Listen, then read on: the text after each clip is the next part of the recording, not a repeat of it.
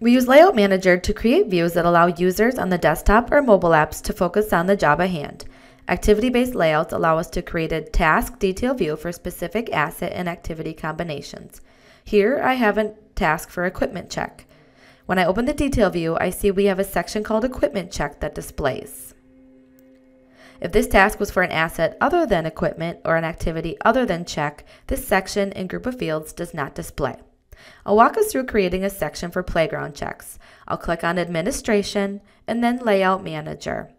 Because activity-based layouts can only be added to task detail views, here in the filter list we select Category, Work, Type, Tasks, View type is Detail View, and for View, I'll select an existing view where I want to add the playground check section. I'll click Add Section, enter the name Playground Check, and click Apply. Now I'll drag the following fields into the new section. Surface depth of 12 inches, 6 foot protection zone, no dangerous hardware, no child entrapments, no sharp points or edges, no tripping hazards,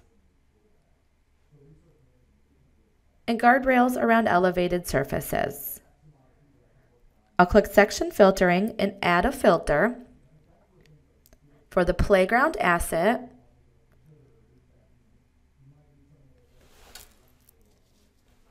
and check activity.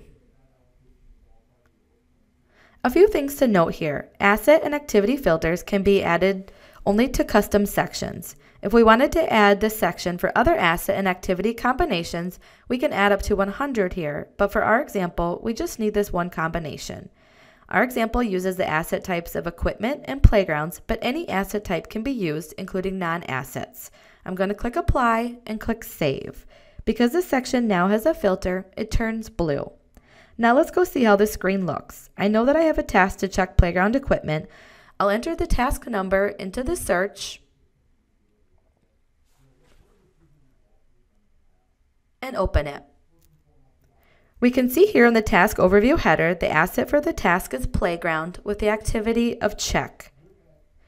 Here I can see the playground check section with the fields we added.